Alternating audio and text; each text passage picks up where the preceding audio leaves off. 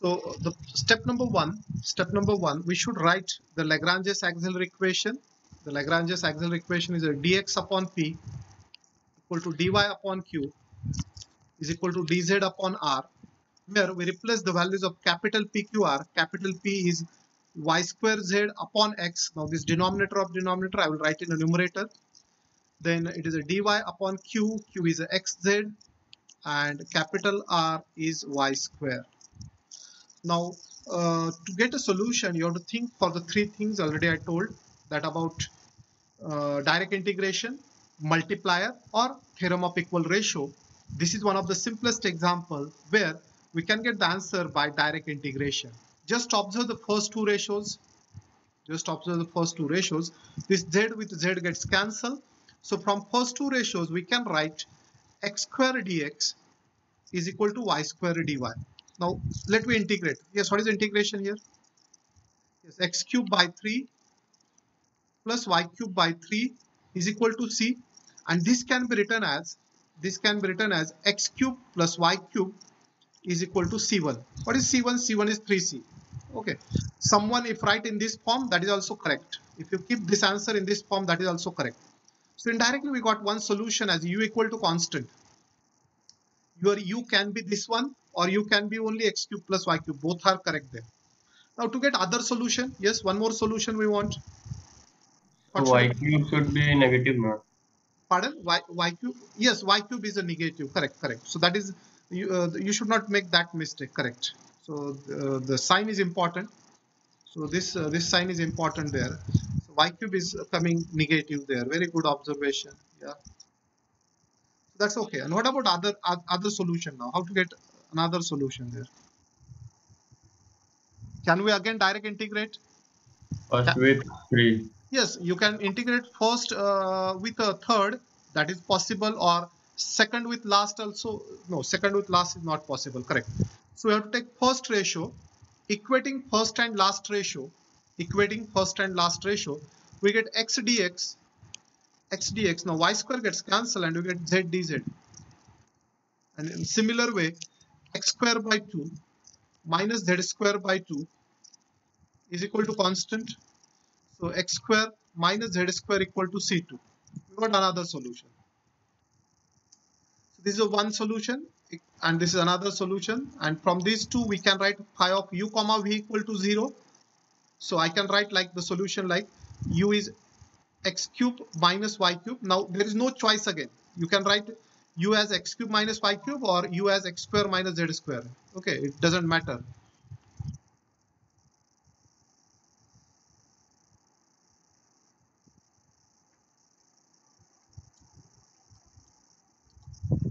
So uh, is equal to 0 this is one of the way of writing the answer so the answer is written here. Phi of u comma v equal to 0 or if you are not happy with this way of writing you can write this way also. X cube minus y cube is equal to phi of v that is phi of x square minus z square. So choice is your. So you can write it any of the way. So i'm saying or. So either write the answer in this form phi of u comma v equal to 0 or u equal to phi v.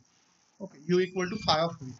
So let I show you all these uh, uh, steps uh, again. So you'll observe the first auxiliary equation is written there. Here is this auxiliary equation.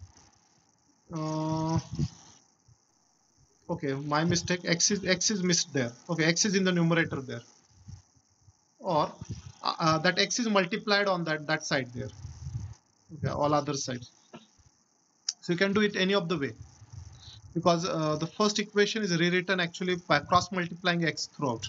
Cross multiplying x throughout. If you multiply x throughout y square z plus x square z is equal to y square x. And now the auxiliary equation look like this. Then uh, you will have from first two ratio x cube minus y cube is equal to constant. Here constant is taken as a. Again from first and last ratio x square minus y square uh, sorry x square minus z square equal to constant so u equal to phi of v or u equal to f of v that is the answer if any doubt is there you can ask this is the answer final step is the answer here this one just have to highlight it So multiple ways are there of solving this. Uh, little equivalent answers possible sometime. All they are correct.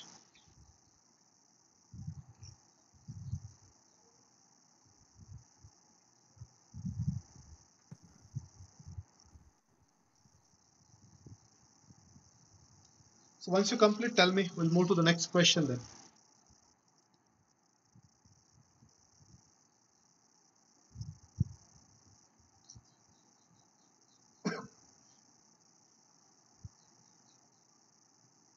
Okay, done. Very good.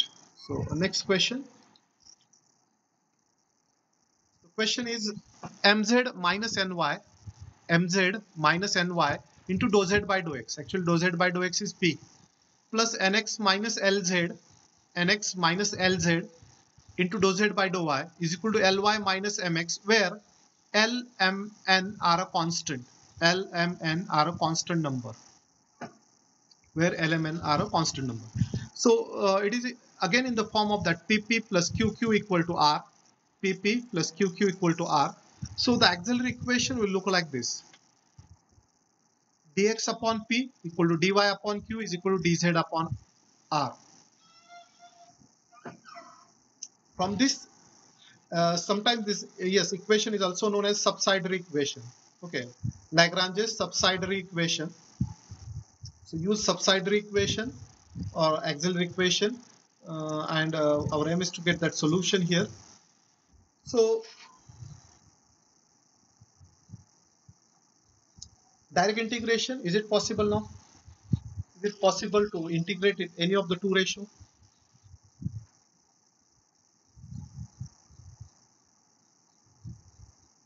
No, sir. Yes, very good. Not correct. Uh, that, that is correct. Uh, direct integration is not possible direct integration is not possible. Now come to the method 2. You should think for some multiplier. The multipliers can be a number again, same number element. Okay, same number element or it can be function of x, function of y, function of z so that sum of denominator comes 0. Sum of denominators comes 0. Uh, okay, or uh, what should be the thing that you can do that sum of denominator will come 0 if sum of denominator comes 0 sum of numerator should be 0 which gives us a solution which gives us solution. yes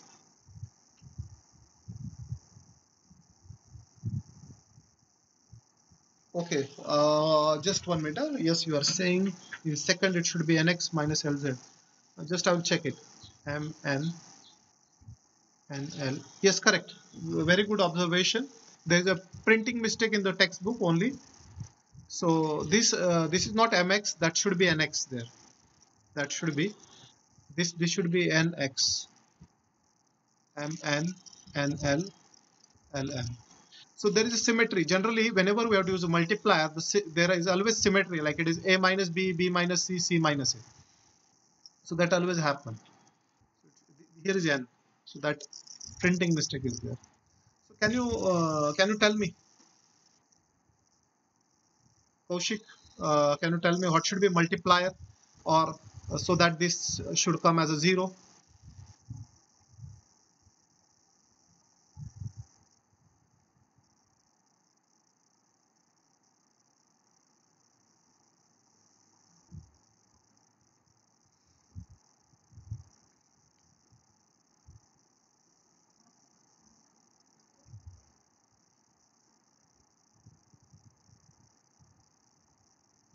Yes, you, you can clearly observe what should be a multiplier. The multiplier can be let let lmn be a multiplier.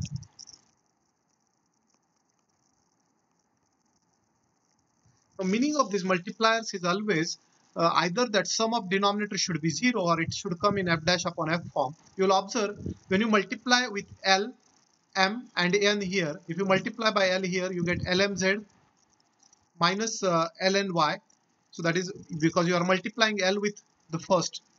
Now let me multiply m with the second ratio and add it.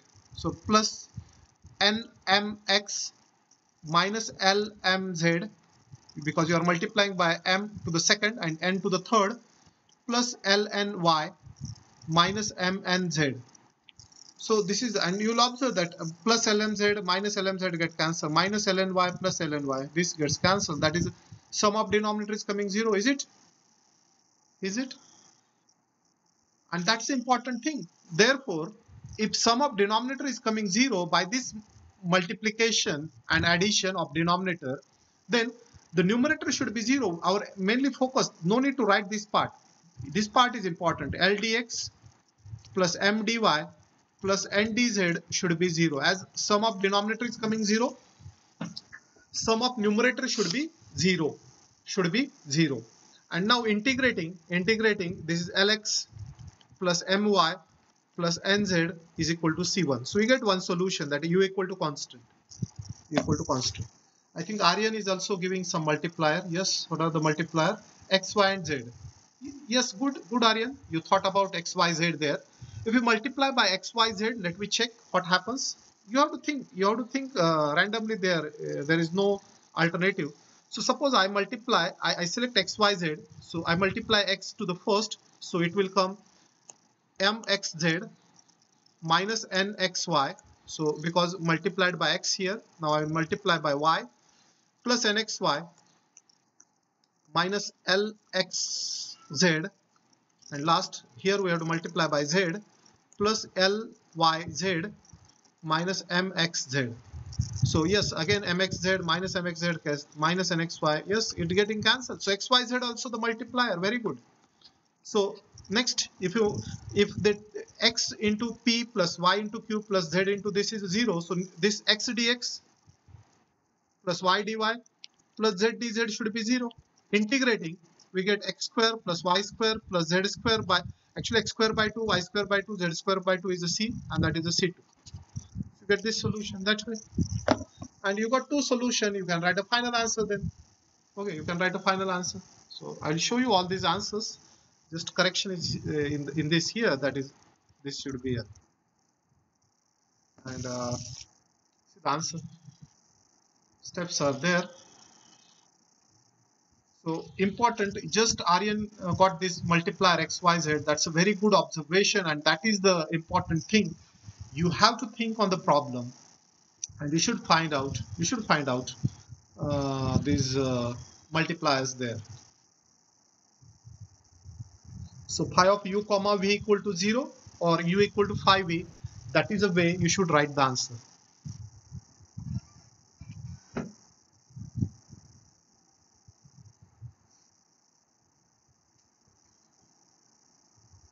So once you complete, tell me. We'll move to the next question. Two more questions are there. Four questions are planned.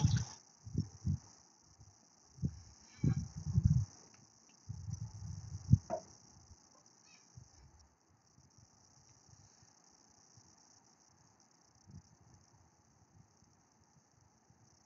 already I told multipliers can be a number or it can be the function of x, function of y, function of z.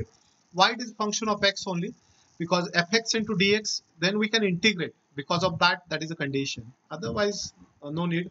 Uh, the multiplier can be a reverse also, but we should integrate later on. The important part is it should be we should be able to integrate.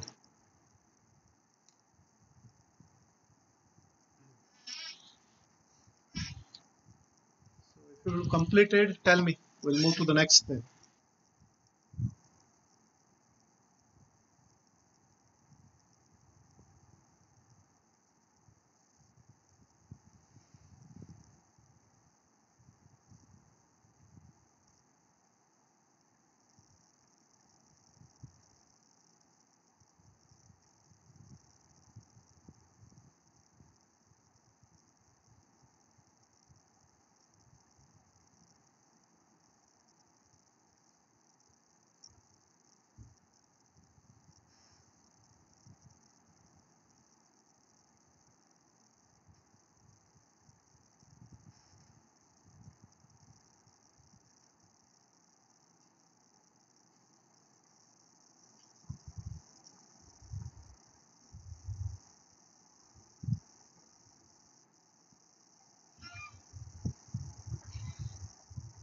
Yes, done.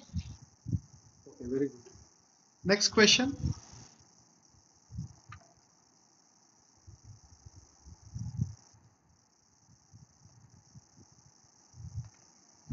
Okay, the question is on the screen. x square into y minus z into p plus y square into z minus x into q is equal to z square into x minus y. So I'll write the auxiliary equation here. The auxiliary equation or subsidiary equation is on the screen. You should uh, you should uh, tell me you should tell me first uh, the method we, we should use here to get a solutions. Direct integration is it possible?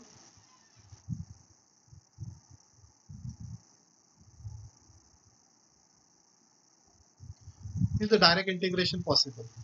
Yes or no?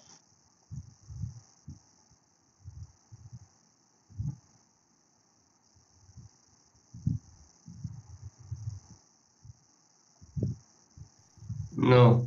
No, yes, correct. Uh, it's not possible, definitely. So come to the next multiplier. Whether the multiplier is possible, you can multiply it in the denominator and the sum of denominator goes to the zero.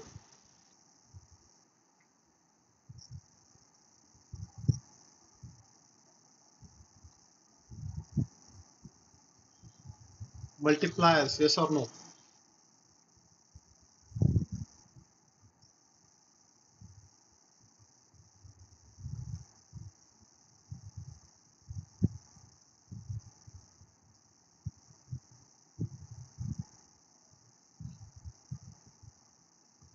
Yes, multipliers, yes or no?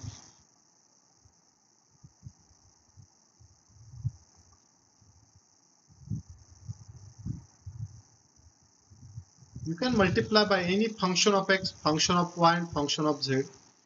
Okay, so that the integration should be possible. I got some answer on chat. Yes, very good. Aryan again. Okay, good Aryan. Your observation is very good there that is 1 by x 1 by y and 1 by z. That's good good observation very good observation.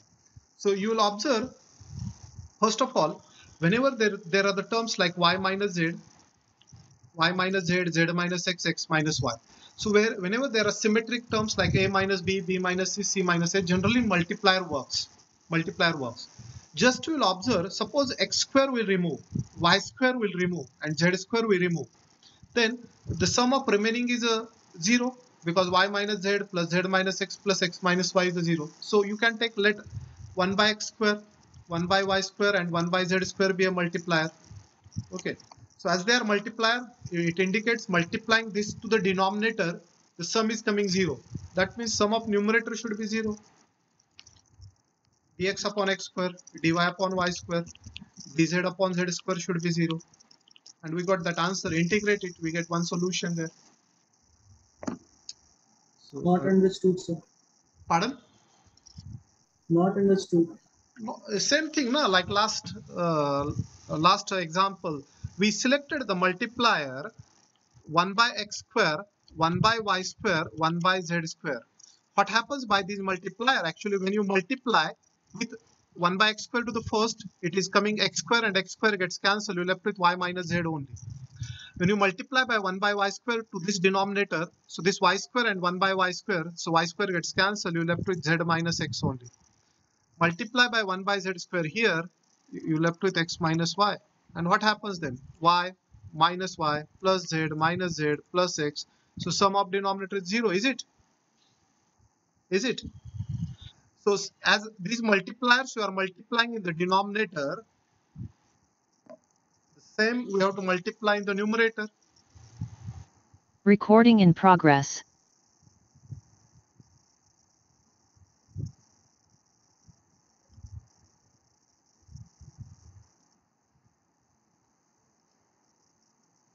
So same same multiplier should become in the numerator. Is that? Am I audible?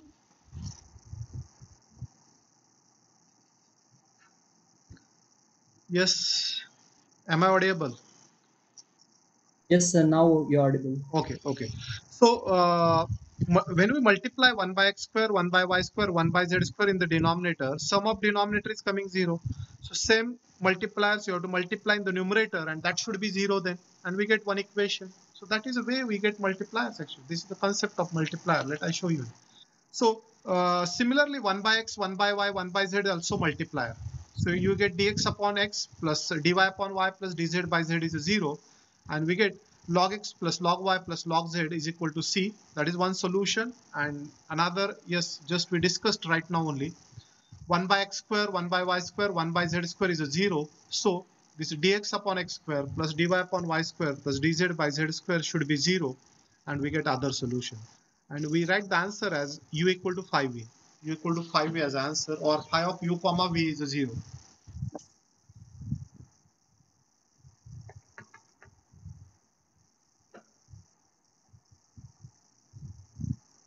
if any doubt is there yes you can ask.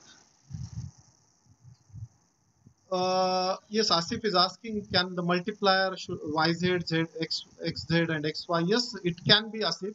But after that integration should be possible if you are writing yz dx yz dx you should able to integrate but you should able to integrate them. Uh, uh, but generally we can integrate if it is like x square dx only or x dx there. So because of that, generally the multipliers are fx, fy, fz respectively. So the multiplier for dx should be function of x, multiplier for dy should be the function of y, multiplier for dz should be the function of z. So that is a that should be so that integration is possible after it. Clear? Is it clear, Asif? Yes, sir. and I will tell you, yes, definitely, this is a little tricky questions, uh, not difficult. You should get whether you should direct integrate or use multiplier or theorem of equal ratio. So if you've done this, I will move to the last question then.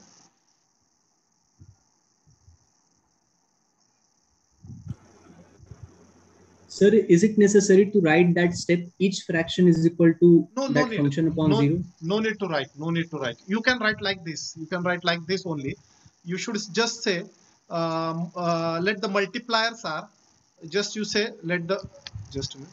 Let the multipliers are this one and after that you can write this step directly you can delete this step because the mul- meaning of multiplier is that only we are saying that the sum of denominator is zero. And you can write like this. Okay no need to write that. So this is the same thing actually. But uh, you can move directly there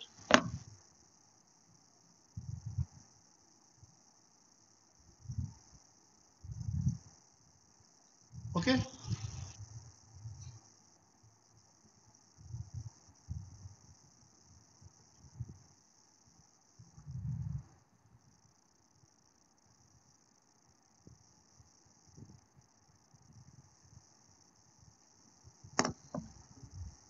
Okay, so I will show you one last question here, last question for today. Uh, that is again a tricky question. Let me see how many of you can guess. Oh, Already complete solution I kept typing. Sorry, I not uh, made, made animations here.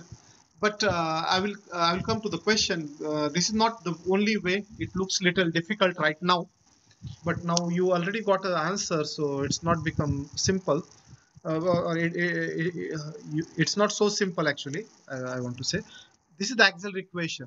Okay if you think uh, if you observe the auxiliary equation the first thing i want to uh, tell you that direct integration is not possible. Because if you see nothing is getting cancelled and you're not able to integrate. So direct integration will not work. Now if you go for multiplier that again become a tricky because it's not so symmetric. Like if it is like if we have the differential equation like this dx upon x square minus y square dy upon y square minus z square and dz upon z square minus x square something like that a minus b b minus c c minus a then uh, generally multipliers become a simple. But this is only one question i will tell you this is only one question in which you can solve it by a theorem of equal ratio. All other examples can be solved by direct integration or multiplier. Only this question is there where you require theorem of equal ratio. And what is that theorem of equal ratio you, you, you should observe here? Uh, uh, we should uh, do here on this uh, auxiliary equation, we should do like this dx minus dy is equal to dy minus dz is equal to dz minus dx. If you do this thing, if you do this thing, dx minus dy will come as after simplification of this, you will observe you will come to get x minus y into that x plus y plus z. Okay into x plus y plus z. Similarly dy minus dz will come as y minus z into that x plus y plus z. Okay i'll write this remaining part on uh, this side is equal to dz minus dx upon z minus x into x plus y plus z. Now equating first two ratios equating these first two ratios here. If you equate these first two ratios this one you, uh, this x plus y plus z x plus y plus z gets cancelled you get uh, this one uh, this answer. x minus y upon y minus z equal to c1 because log of x minus y because it is in the form of f dash upon f. Whatever i saying at the beginning when we use theorem of equal ratio we should get f dash upon f form derivative of x minus y is a dx minus dy. Derivative of y minus z is a dy minus dz that's present in numerator. So integration of this is a log of x minus y is equal to log of y minus z plus log c. Okay, plus log c. That's the integration. So I will take log uh, uh, a upon log uh, sorry log a upon b that is y x and uh, taking anti-log we get this as a first answer. Now in textbook uh, they uh, got the other answer by multiplier. That is also okay but no need to go in that tricky part. Better use better to use second and last ratio or first and last ratio. If i use second and last ratio a similar answer you will get x plus y plus z gets cancelled and i will get y minus z upon z minus x is equal to c2 so i'm going to write the answer for this question as uh, this u equal to c and v equal to c2 okay this is c1 and c2 so uh, x minus y upon y minus z is equal to phi of y minus z upon z minus x. This is one of the solution and here is other solution. Both are correct. Both are correct. You can do by any of the way. Yes, any doubt? Someone is talking there. Yes, any doubt? Sir. no doubt. Okay. So uh, remember there are multiple solutions already i told at the beginning for the pde so in this case you'll observe this is one of the solution or or this is other solution. Erase everything. Get it? So this is one of the solution or a similar answer or you get this one. Function of f of or phi of. It doesn't matter both are correct. Both are correct answer. But actually, one of the trick you got to get u equal to c. The same trick you can use it to get other solution. No need to do this part. This is a little uh, more tricky then. It becomes more tricky that question. It's better to write this answer x minus y upon y minus z equal to phi of y minus z upon z minus x. Okay.